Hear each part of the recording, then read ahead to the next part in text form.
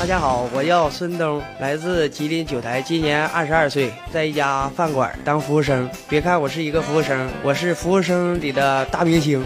我的工作是枯燥乏味的，但是我善于在我的生活当中寻找乐趣。啊哈啊哦啊啊啊哦哎啊是得啊是咚啊是得个的个啊是得啊是咚。我会自己经常编一些小节目，在同事和朋友聚会的时候表演给大家，和大家一起分享我的快乐。那么现在借此机会参加，呃，有话好好说这个栏目，我愿意把我的快乐分享给更多的人，请大家一定要期待我精彩的表现。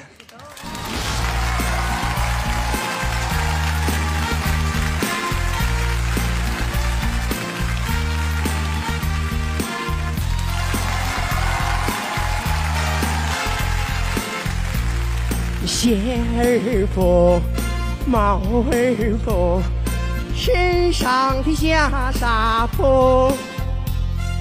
你笑我，他笑我，一把扇儿破。来，阿弥陀佛，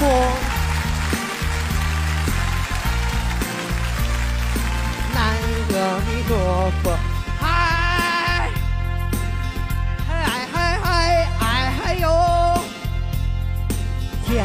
南地北到处有，佛祖在我的心头坐。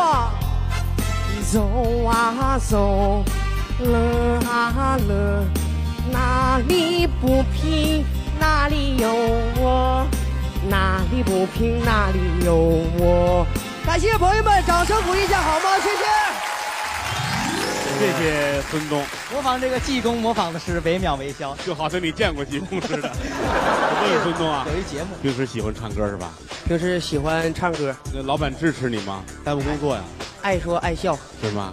爱说爱笑爱热闹哈。和我们的员工也爱开玩开开玩笑。哦哎，孙孙先生，问您个小问题啊，您看您这个有没有想过想转行正式当一个演员呢？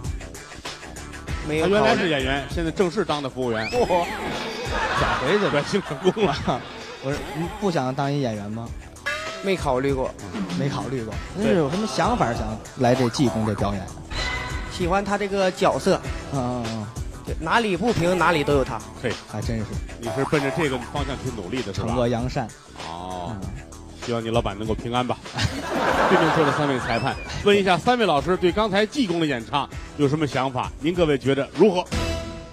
孙东本身职业是个饭店的服务生，呃，业余时间喜欢唱歌，喜欢表演，而且最可爱的地方，他始终就没想当一名职业演员，他只是把唱歌表演当做一种自娱自乐的这么一个呃活动。呃我觉得这种生活态度非常好。谢谢施先生啊。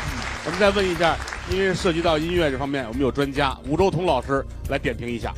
刚才那首歌呢，我觉得你可能更多的是在于准备那段表演了啊，看大家让来喝酒啊或怎么样的，对声音的控制方面的话呢，有点儿不是特别的到位。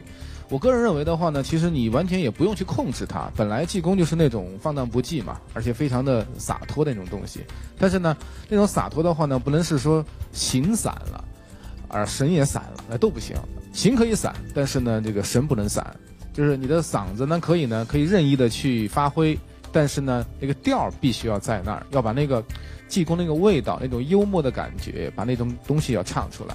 所以有时候呢，你可能有点太注意表演时候呢，对唱歌这个部分的话呢，就没有去好好的去把握啊。所以我觉得这个地方的话，可以稍微的注意一下就可以了。好，谢谢吴老师啊，谢谢。谢谢他在这个调上的这种把握，其实是想从另一个角度表现济公的不着调。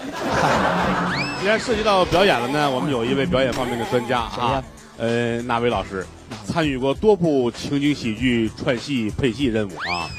那老师，来您给说说吧。